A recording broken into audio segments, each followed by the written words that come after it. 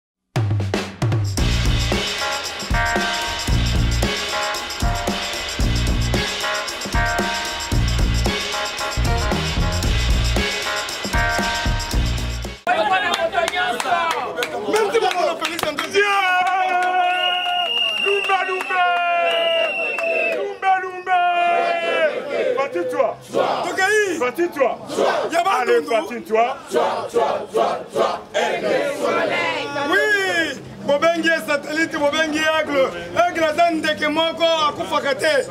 ndeko moko ya miracle aigle lelo tondimi félix aza aigle ya solo ndeko bakosa yo te batrompe yo te félix aza missionnaire ya nzambe a chaque moment nzambe atindaka motindami na ye mo tozalaki na baabraham tozalaki na ba isak ba jacob ba moïse ba josue fumukimbangu lelo tokomi na kabundu ale le prophète majeur kabundu alesa wetu soki ayebisi yo nzambe moyebisima soki atali yo kaka boye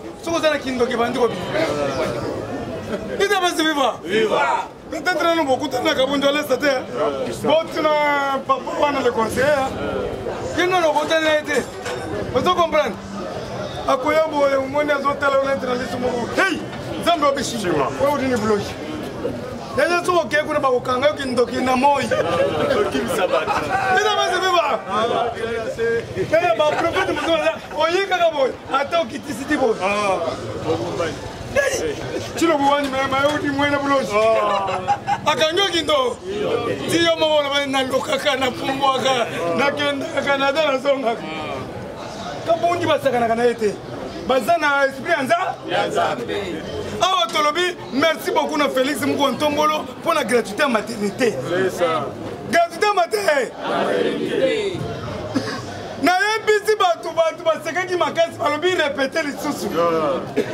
mpo ngai soki nalobi likambo omoni bato baseki makasi na poto batindi mwasa ah. nazongisaka yango mpo ngai mpe nazoluka ti balobi boye tokokende kofunda félix epa mama na ye ah, ah. nazo bulamu eleki ebe tokosala sitting ata 5 million de combattant tokende kofunda félix epa mama na ye mama marte kasalo ngai ni motu nakoloba parole mama marte mwana na yo bolamu elekebe tina niveau ya bilengi na ngai moko asala ngai maternité lumbe lumbe lumbe lumbe de père et de mère de père et de mère faci be babi na kanko na kan chachi babimisi babimisi bamama na maternité ofe ata sans frein te ah, batiki nano babebe babandi kobina natina mabele bazosiete mpo na fati tokosie nalobi na grand church ah. nazo repete na grand church bamilitaire babimisi bamama na maternité babandi kosie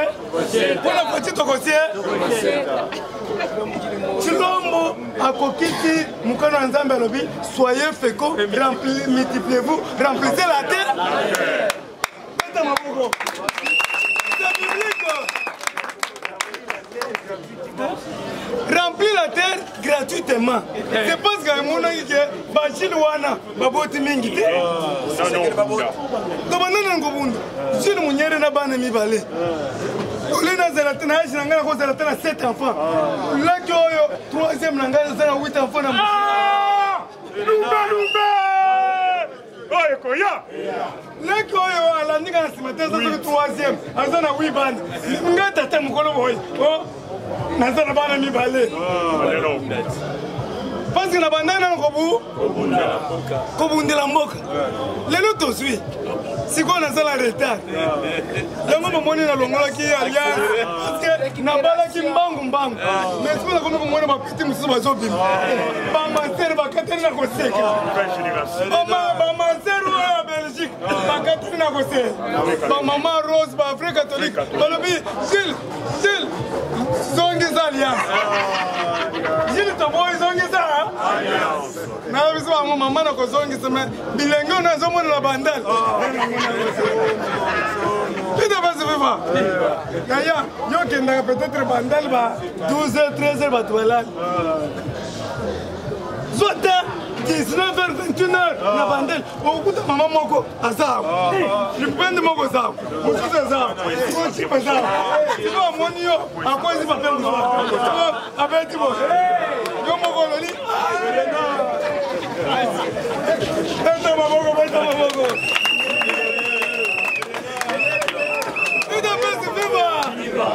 Mes chers amis, bazo signaler biso tracasserie na zandu.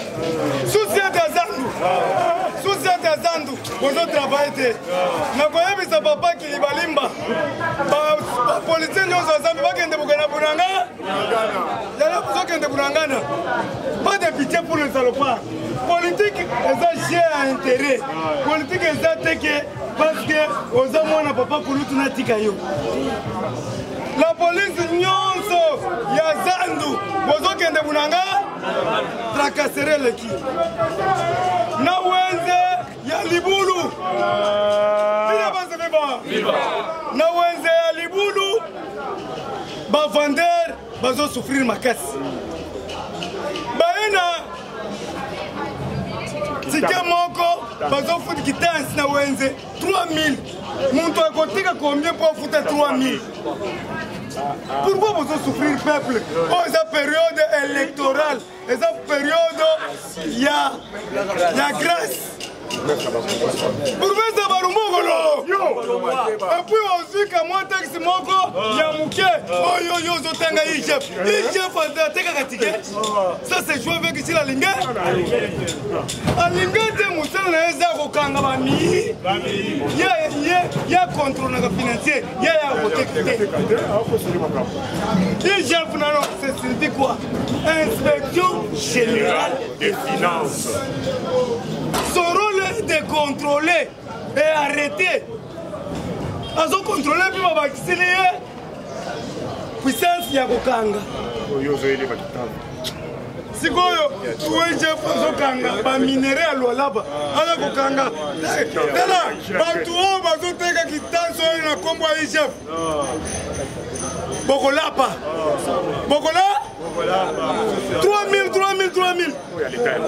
ya leta yango oyo me kitanso aza kitasini chantini ngobila yebisa bato ya leta ya yo yango oyo sikoyo oyo eza kitansi nini bakomi igef ekopa joa bourgmestre okosamba ya barumbu komona ye nani lomami okende na lomami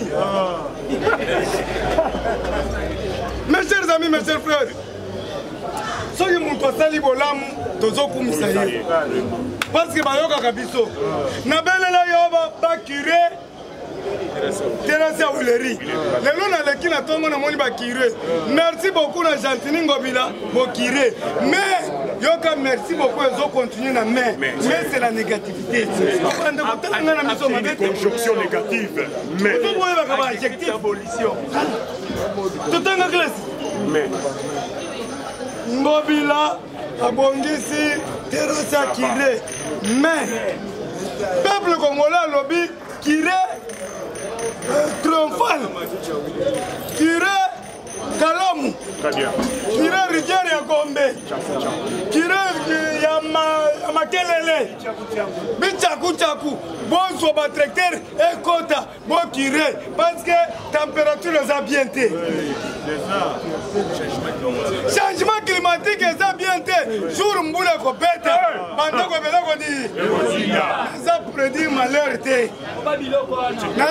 naye koprevenir bakire baterase nyo papa ntumba tikela ayokaka ngai oza na kalemi bato bazobenga ngai kalemi kitoko lwalaba kitoko zongela biso mpe na kisasa pesa ordre bafongola badale nyonso balongola matiti nyonso na bakani bakanivo tolingi todita te lelo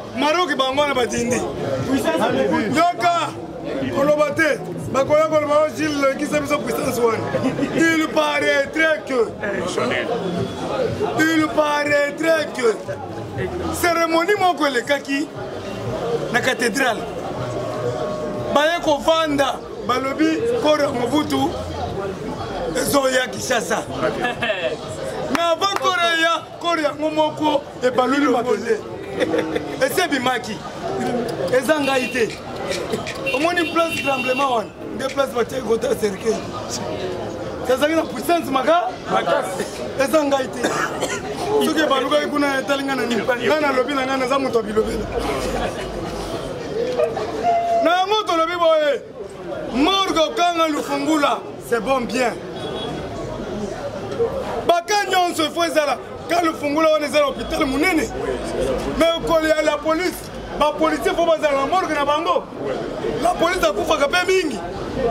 Okomona bato baye kotyela biso morgue, siko batyango wapi?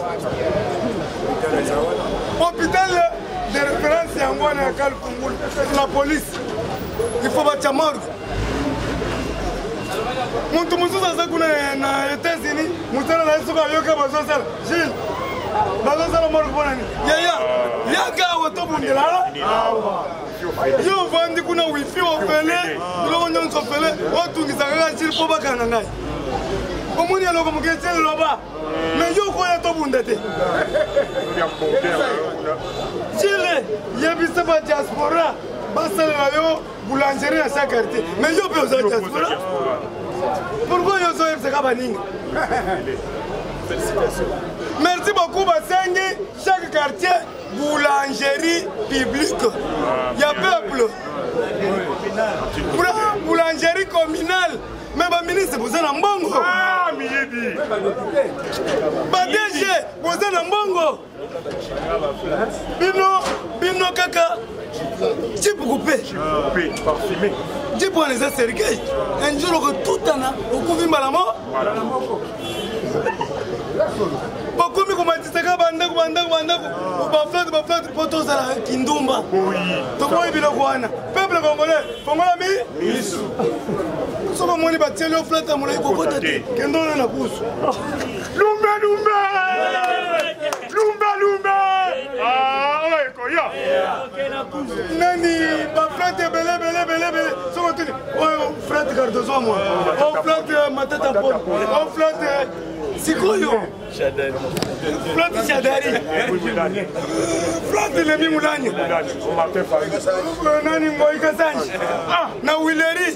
mutu na mutu na plante na ye sikoyo biso nyonso tolalaka na baplante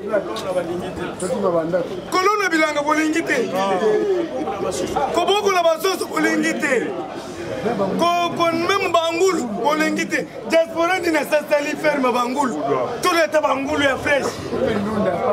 meme ndunda pamba oyo oza kaka naza investisseur investisseur ya flat mpo biso tokoma bandumba zero zero na congo tolingi moto ya koinvestir na bilanga merci beaucoup na vitali kambere oyo aza mayele makasi oyo atindaki mwasi na ye na bilanga mwasi ake aloni bilanga lelo batie bamasangu nyonso na masaki sikoyo azosengela mwasi na ye mbongo mpo ekota papa nikolo kazali sasa mbongo masango ekota bato ba na intérêt ya peuple merci beaucoup na mama mama mida chati qui aime bien chati bien epuis mwasi wana mpe nano bomona ye te semeki na biso wana nano bomoni ye te botalaka ye na mosika aza lokola angelu semeki wana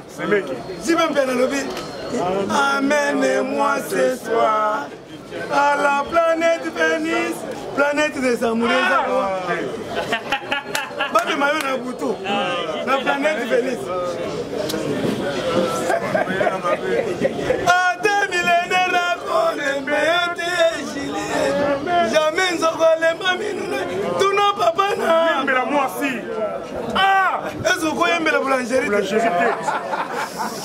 eza basi viva est-ce que okoyembela okoyembela nini oyembela a manger te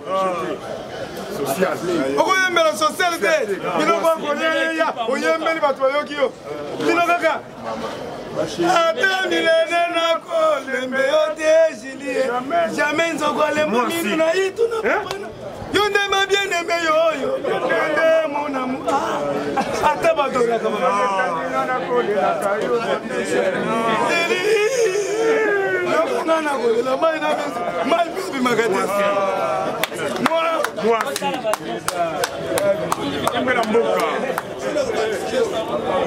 olandi kote wana mpe limbisanga machanta limbisanga sirdelan yaya okoyembela te oyo balimbisa yo osalaki ni epo ozoya kosenga bolimbisi na televizio idps viva soki wana tala nde jibe azoseka na yango fardc baza na morgue na bango na kankoko ya bien bosala biso bamorgue bosaleli biso baboulangerie bato bazokufa bato bazobota ezalaka bongo bato mpe bazolia bato mpe bazofara te kantine populaire lelo kongola akomi kotambola ere moko moni azomilobela otutukaka moto oyo abanda kolobaloba na nzela ida pese viva mais avec fati tout va bien parce que lelo nayebisi bino avec fati tout va bien tosuki wana service ya transport bazosenga na bino botikaka baparking na nzela boluka ba parking mituka etika nzela pole epuis bozozela ta bagile wana bozodevie itineraire bachako euh, transport ekomi 3000 mpo okoma kingasani ya suka eza normal te ministre ya transport lelo eza vendredi Rapport nini okopesa na chef de l'État? Ministre ya énergie, courant eza te na Bumbu, mai eza te na Bumbu. Rapport nini okopesa na chef de l'État? Okende oh, réunion des ministres, rapport ya lelo zero. Tosengi Bumbu mai ezala. tokomi na bamai kaka ya forage mai ya forage oyo mai ya nyei na biso maintenant ifo sokola yango otie kisi otie mpe otie mpe savo monganga sino mai ya forage wana okopima nyei na nzoto etali ngai te tosengi na mokwantombolo botiela biso barobine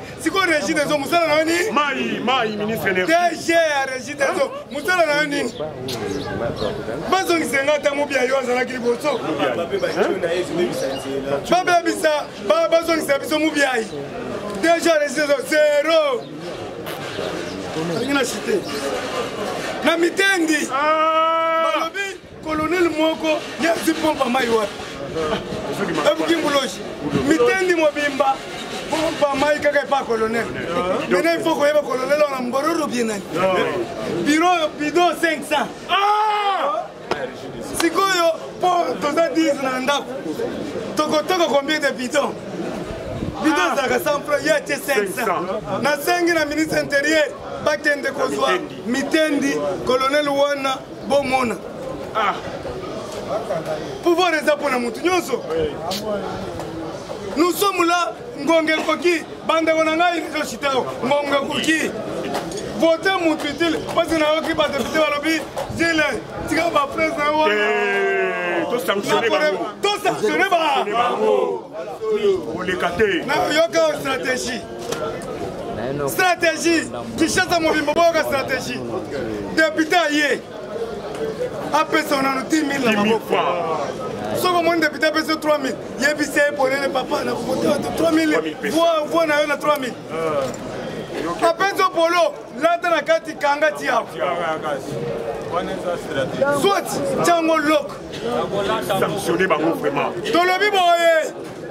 depute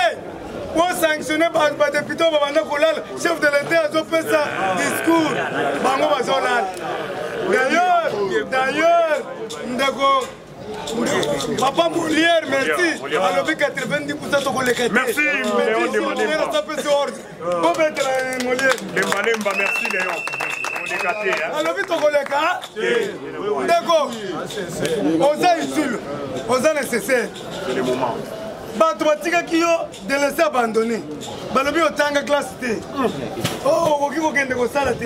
mais lelo peuple akomi na valeur moto oyo atanga te akovote ndenge nini yo olobaki biso toza mayele te siko bato bakovote ndenge nini ndeko ntango oyo topesa chef de l'état majorité mpo totravaille bien na deux ans ya pamba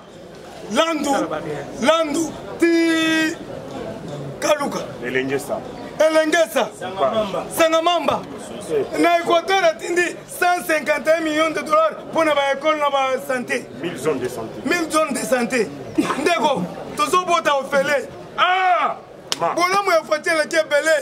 vota tokofunda epamama bolamu na yo eleki ebe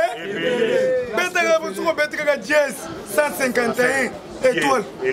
eleki okomona ambulance eye kozwa yo ok ah. esili eza esengo te lumbe lumbe lumbe lumbe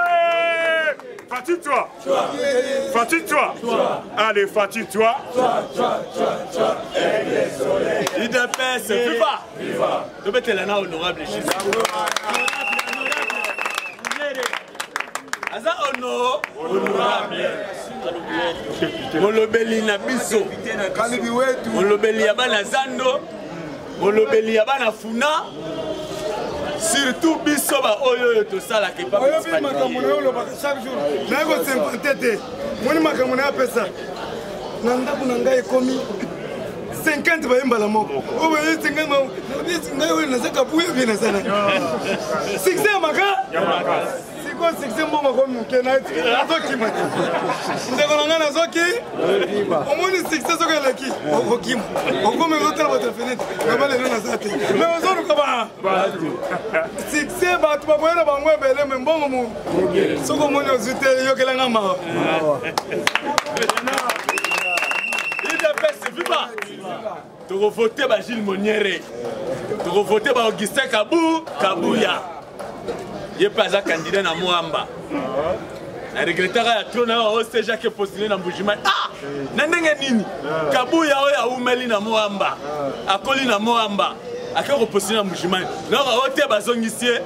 awa na kinshasa en tout cas esalaki nga bien parce que bana kin fo bavote bango na kin na kin idps viva lokola honorable jules monyele vraiment idps viva sans plus tarder tokende na lombango mpo na information na biso je crois que tout le monde bozoyoka baradio nyonso na ba rfi na ba top congo bachane nyonso ndenge na ndenge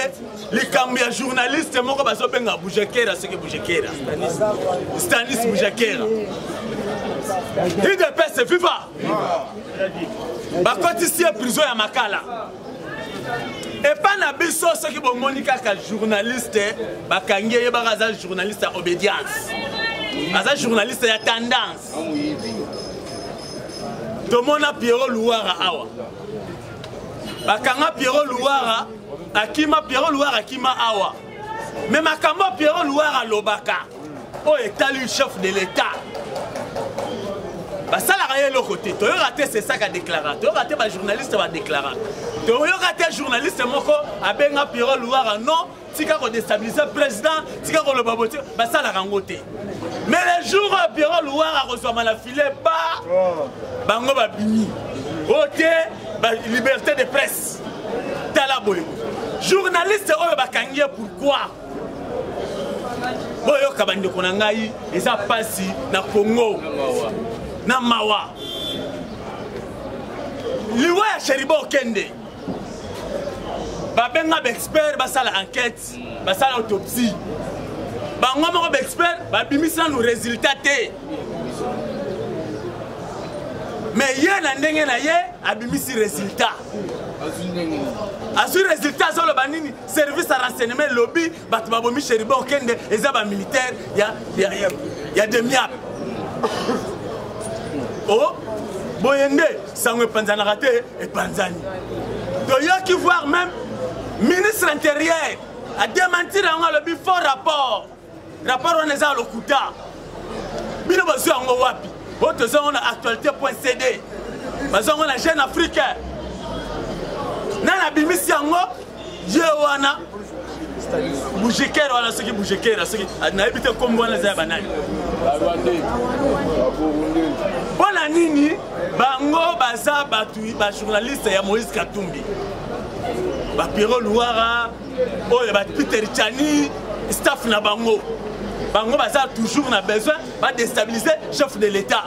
mpo babimisa président ke non azokanga bato liberté d'expression eza te na congo eza na mboka te pour le moment oyo moto azoloba n'importe quoi na président de la république lokola rdc idps viva tozomona ezala journaliste ezala n'importe quel mutu akoleka na télévision akoleka na radio akoloba chilombo chilombo chilombo ndenge alingi basalaka bango nini epuis faci banda akoma président asi aboma mutu bazoluka place nini bakosalda faci akoma na makila na maboko mais ezosimba te tala ndenge bafabrike bawazalendo na goma epuis wazalendo bazosele biso na bosanaki ndeko na nga wazalendo babeti bango masasi me moto akongo aza te bazoluka sikoyo bibembe baresistre bakunda baza te le rwandais bauti mosika idps fifa bafabrike wazalendo ya barwandais bakotisi bango na congo baya basala marche babengana monisco me lelo sikoyo tozoloba boye bandaka ndenge mpenza jila uti olobawa babomi bato sava tondimi bato bakufi bapreuve yango emonani bato bango oyo balali sava oyo ayebi ke ndeko na ye akufi awa akufi aya asaregistre comme ça to to assumer ba obsèque tina lelo ata moto moko azomonana te orke baza banani barwandais susi na bango eza nini lokola bamona état de siège ebloka bango foka état de siège esala nini elongwa surtout général costandima gouverneur atia bango contre mire baluki stratégie nini fo koekarte moto na goma ezosimba te nde baluki basimbisa ye touche mais toyebisa bango ke chef de l'état azodeside général kostandima azozonga na go na goma kaka ye motu mosusu te alobi amoni chef de l'état boye moko akwei na te naye mpona kolongolo te ozozongisa idps viva oui wana fils wana mwana ndako de père et de mère azobunda aza na vision ya chef de l'etat soki bango bato wana bazalaki te mbele goma espoya deja na maboko ya barwandais yango wana tosengi bazongisela biso bato oyo bapatriote congolais bazonga bakesala mosala na bango lokola général costa ndima batika mpe lisusu général joni lubo ya kashama wana bana ya mbo ya mboka tobetela bango maboko idps viva nakende na chute awa président gile auti kolobela eloko oyo mais nazalaki nango nayaki nango tozosenga na bato oyo bazozwa ba moyen bato baza na mbongo botika nano esprit ya kosombaka bajip idps viva idps viva bokota na bamapango ya bato ya mbongo awa okomona moto mosusu akozala ata na 20 jip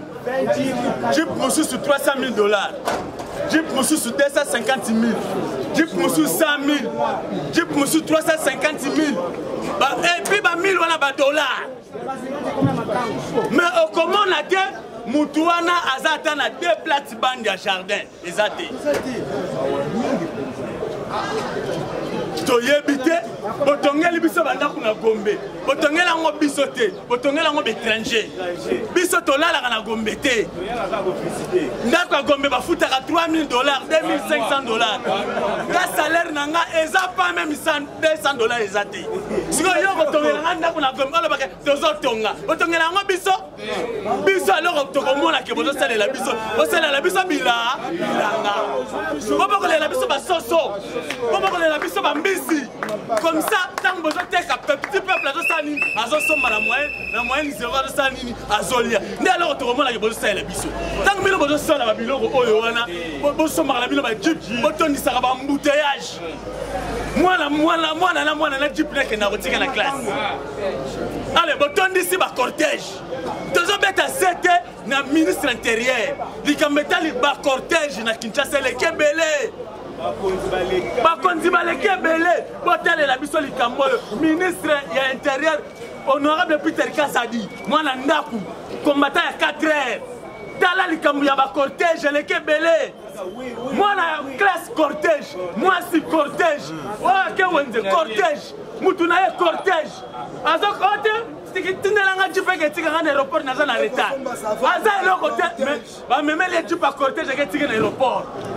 sikoyo tozokonzi na biso peter kazadi oyo atali makambo wana vraiment bongisela biso place wana baidentifie tous les cortège toyeba cortège eza ya nani oyo eza ya nani oyo eza ya nani ekosala mpe harmonie na mboka idps viva idps viva idps viva faci be beton nangi na complete président mpo na problème ya journaliste oyo journaliste oyo asali infraction